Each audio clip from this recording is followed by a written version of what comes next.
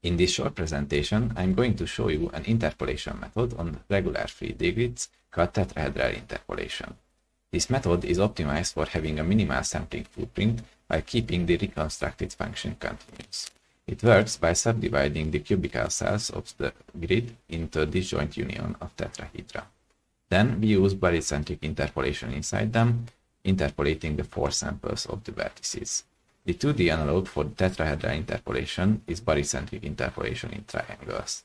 Compared to tensor interpolation, which is also called bilinear or trilinear interpolation in two and, in two and three dimensions, the effect of individual samples are more pronounced since fewer samples are used for reconstruction.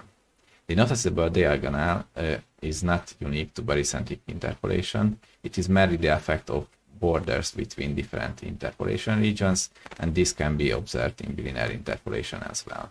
Since the interpolation regions are smaller, the effect area of the stored data sample is smaller as well. In bilinear interpolation, this area is a square, while with barycentric interpolation, it is a somewhat smaller shape. Similarly, the affected uh, space of a sample in trilinear interpolation is a cube, but with tetrahedral interpolation, the volume is half as big. This agrees with the fact that we use half as many samples for reconstruction.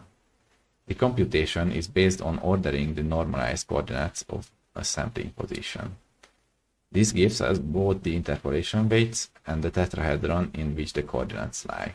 The latter describes uh, which vertices need to be used for interpolation. In this example, we use random light probes stored in second-order spherical harmonics. The shading is computed from the probe resulting from interpolating the samples.